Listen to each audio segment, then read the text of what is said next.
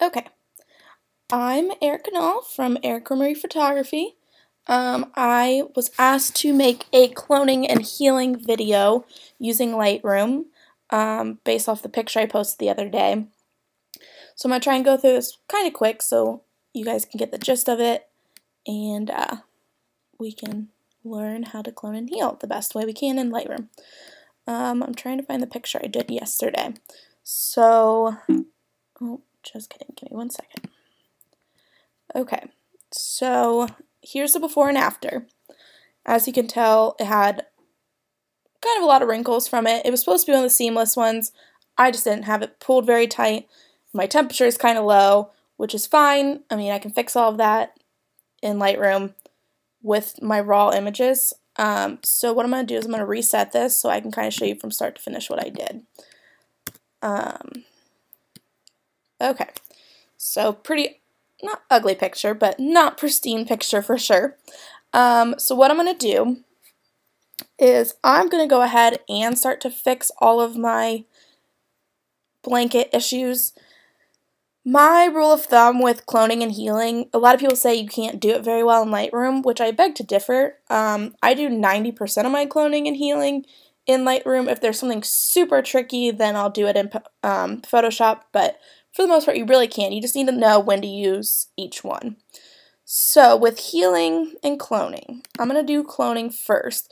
I use cloning when I'm getting really close to my subject.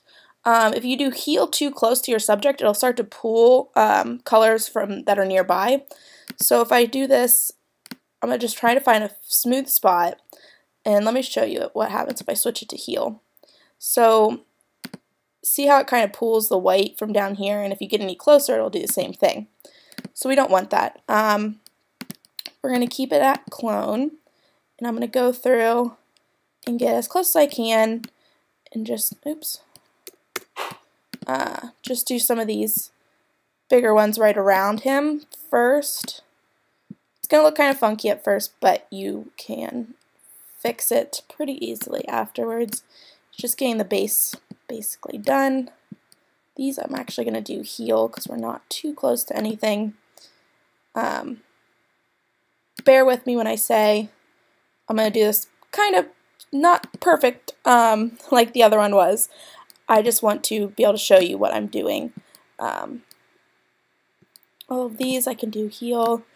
And I'll start to use bigger spots. Bigger spots, in my opinion, tend to look better and smoother than little ones because you can sometimes start to get circles um, being seen. So even by his hair, I think last night when I was working on it, yeah, he can be fine. Um, he has tons of hair, right? Tons, tons, tons.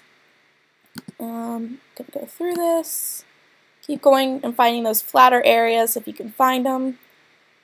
And I'm gonna just like I said, I mean, for those of you that were in the group and saw the before and after picture of how many circles I had, you'll see why, because I just keep going and going and going. So you can get the majority of these done, like I said, in Lightroom if you know how to use them. So heal for far away things, clone for really close things. See how this looks so far. So that already looks a ton better. Um, so I'm noticing this one circle right here is kind of prominent. So once you go through with the clone, you can go back through with the heal over your clones and uh, get them covered a little bit better. Because heal will kind of blend things more so than clone will. Um, Alright, so that's probably going to be all that I'm going to do for now. So this is still kind of a pretty harsh border between the two, but I can soften those later. Um, so now I'm just going to brighten them up a little bit, and I, let's see, what did I do here? I was warming him up a lot. If you can tell from these um, images, they're all, I mean, it was all pretty blue. It was pretty dark in my studio when I did these. Um, let me see if I can find. So here's what I did to this image. So just temperature I added a lot tint a little bit because he's a little green, contrast shadows. Um, so we're just going to go back to this so I can redo this. Um, so I'm going to up the temperature quite a bit here now until yeah, we, we went quite a bit with the temperature on this one. Um, okay, so temperature, and then I'm going to up the tint just a little bit, because like I said, he's a little bit green. Add some contrast in, and let's see. I'm going to do just a little bit down of the shadows. Um, with this image, I've been playing around with um, the vignetting a little bit more. I used to not be a fan of it, but I've been experimenting more and I do kind of start to like it. Just don't go too harsh or you'll get very, um, very edited looking images and you don't want that. You want to keep them as natural as possible. Um, and then I also always mess with luminance when it comes to babies too because you can take out reds, you can add reds, you can see in his hand that things are changing a little bit when I mess with the reds. Um, I want to say I upped orange just a little bit, yeah, to darken the image. Um, I just kind of play around with these a little bit until I see that it's where I want it to be. Still think I'm going to warm them up a little bit more. Yeah, there we go. That's kind of where I'm looking at. Um, and that's where I'm going to leave it for right now. I'm going to go in with our brushes that we have. Um, and we are going to go, let's see. I've used Skin Smooth for it before, but you can also use some other ones.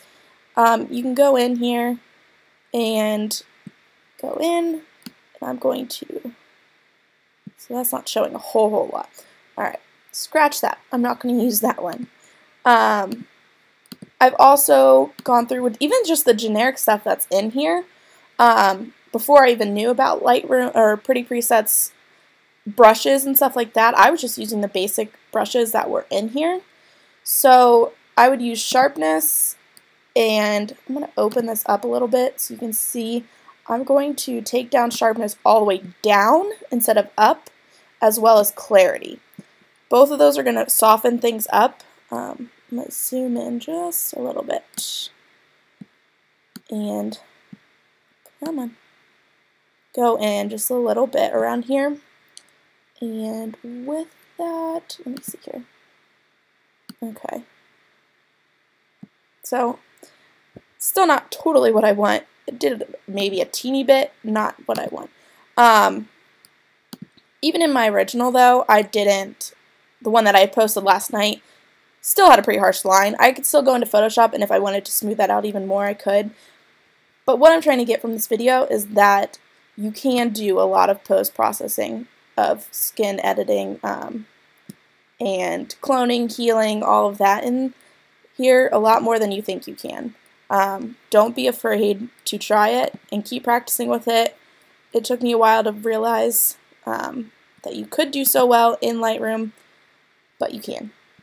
That little spot was bothering me on his nose, so we're going to clean that out. Um, and even then, I still would go up a little bit warmer with him. That's just my um, view on images. I like them to be a lot warmer. Other people don't. So whatever you like. And then I'm going to down clarity just a little bit make his skin look a little bit smoother. And that's how I'm going to leave it for now. Um, like I said, it's not a perfect example. I just wanted to quickly show you the cloning and healing um, and have a little bit of an edit. So I hope this helps someone. Um, if you have any questions, just let me know. Thanks.